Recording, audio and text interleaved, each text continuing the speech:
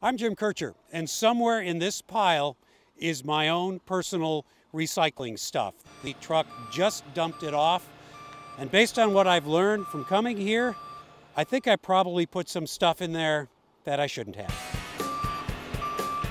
It wasn't planned, it was just by chance that my stuff picked up in front of the house that Wednesday morning arrived during our visit to the Republic Services recycling plant in Hazelwood. Republic handles most of this area's commercial and residential recycling.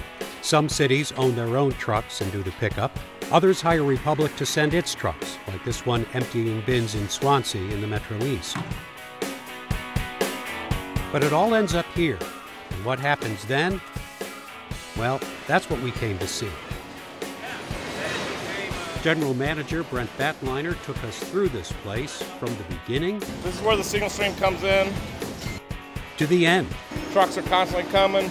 We load three to four rail cars a day of material going out. We load about four to eight overseas containers a day, and then several trucks going domestic with plastics, aluminum, steel, and so on. Those bundles will be used to make new paper, glass, and plastic products. But the business really got hit hard in 2018 when it lost one of its biggest customers for recycled paper.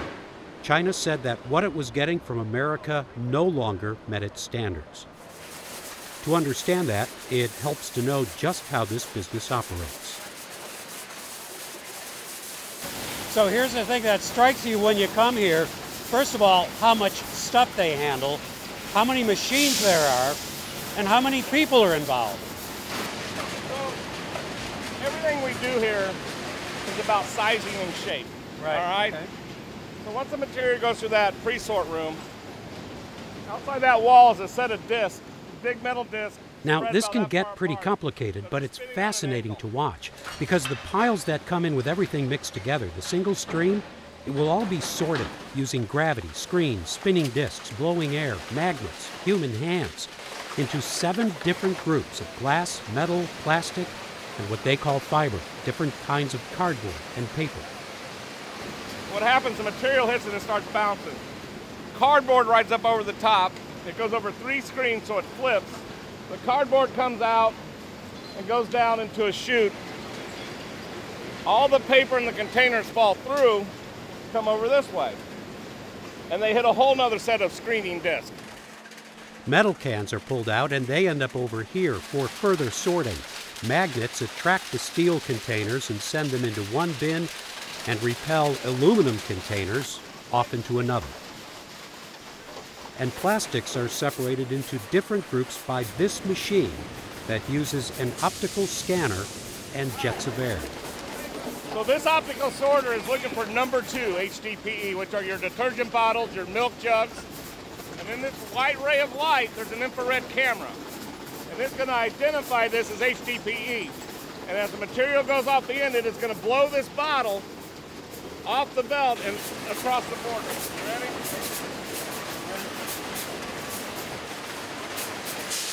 At the end of the line, that milk jug you tossed into your bin ends up here, pressed into bales. Milk jugs, by the way, are made of the best type of plastic for recycling. The machines don't catch everything, and that's where the people come in. The machine has separated most of it, and they're looking for the one item that made it through that didn't belong, like the plastic bag. Or if that one plastic bottle got caught under paper and came with it, they can grab it and drop it on a chute to take it back where it belongs. It's a constant scene of movement and noises. Well, until it's not. Uh, there's a moment of silence here, which I'm guessing is probably not what you want to hear. No, right? you never want to hear the plant go quiet. That's correct. So, what, what usually happens? Why- So why- we probably lose about an hour a shift of downtime uh, due to what we call operational downtime, not mechanical, not because the machine malfunctioned, but because something has jammed. Something has gotten clogged in the system. 99% of the time, it's an item we did not ask for. This is the kind of stuff that can gum up the works. Big pieces of plastic get caught up in the moving parts. Plastic grocery store bags take them back to the store recycling bin, not your single stream. Plastic bags are biggest nemesis. They wrap around this entire uh, facility. And they really hate videotapes. The tapes unwind and they wrap and wrap and wrap around the machinery and the moving parts.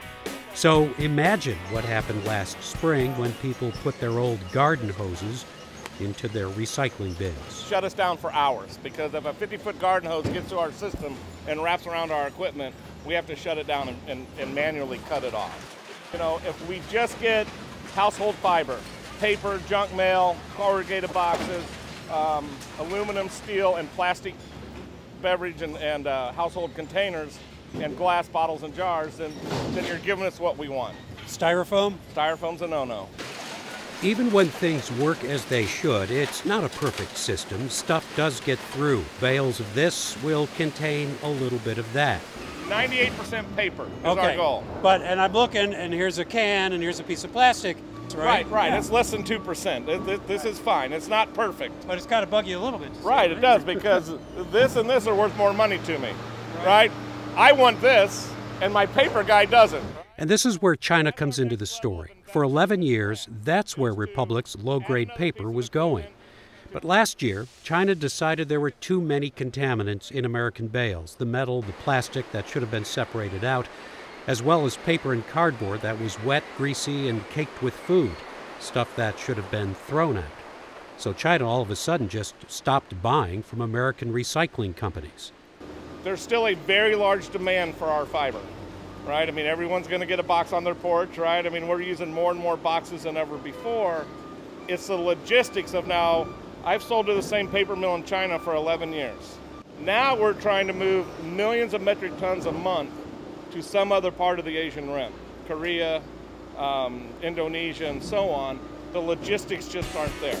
Transportation is a big part of that. So many container ships bring Chinese made consumer goods to the U.S.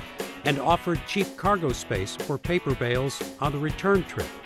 But less traveled routes to Asia mean higher shipping costs, and Republic is losing money on every bale. China's National Sword campaign, the decision to tighten contamination restrictions on foreign waste, and stop accepting American shipments, that prompted another St. Louis recycler, Resource Management, to stop handling single stream. And that sent some municipalities scrambling to figure out what to do. The economics, the markets, the processes, the future of recycling, it's all kind of up in the air. And there's a regional effort by East West Gateway's One STL initiative to address the challenges. Jennifer Wendt, who oversees University City's Recycling, chairs the regional group. It is all about education, really, at this point. If we, need, if we want single stream to keep going and to be economical, people need to be a little more conscientious about what they put in there. For years, we were getting paid. We got paid for that, the recyclable material. And so not only were we not paying the landfill fee, but we were making that much money on the material. So we were really offsetting our solid waste costs. So it's a good market for it that It was a stuff. great market, yeah. right. And so um, with the National Sword, the markets have crashed. I mean, they're, uh, they're not rock bottom, but, and they're starting to ease up a little bit, but definitely the tides change. So the municipalities are, you know, paying for the recycling processing whereas we used to make money for it, make money on it. But um, I always tell people, you know, you don't sell when your stocks are down. And right now, where we are, it will move back up as we start building some more infrastructure to process those materials domestically, which is what we should have been doing, or what we should have anyway. Uh, what are the issues that have been coming up here? The major issue is contamination, and it doesn't mean uh, people think contamination means food, and it is food, but the biggest source of contamination are materials that don't belong in the bin. The, the biggest thing that everybody needs to know is to keep your materials that are acceptable clean, empty, and dry, and don't put anything in there that you don't think is recyclable. That's not on the list. Wendt works in U City's Public Works Department, which is one of the municipalities that's made a major commitment and investment in single stream recycling. At this point, we are sticking with the single stream because all of the processes that we have in place are geared towards single stream. So all those bins, all those trucks, That's what you're set up to do. Yes. You're going to stick with that. Right, and it is, you know, hundreds of thousands, you know, a truck could be two or three hundred thousand dollars for an automated truck. You know, the carts aren't cheap. Everybody that is set up that way, it's a very automated system, um, less labor intensive, but then more labor at the actual recycling plant. In some parts of the city of St. Louis, they have shared recycling dumpsters in alleyways, and there are also green dumpsters for yard waste, brown dumpsters for trash. This works well, especially if they're all bunched together. But if they're spread out, there's always the temptation to just take whatever you've got and throw it in the nearest dumpster. That creates a lot of contamination in the single stream system. The city has its own recycling promotion and education campaign and a website, St. Louis City Recycles. But whether it's a small bin, a rollaway cart, or a big dumpster, mistakes made here will end up here. And changing that might take more than a polite request to follow the rules. You can't really control what I put in my bin. No, and it's it's very difficult with the automated system and the carts because somebody rolls their cart out, the lid's closed, a truck comes by, dumps it in, and even if there's a camera on the truck, they won't see it until it dumps into the back of the truck.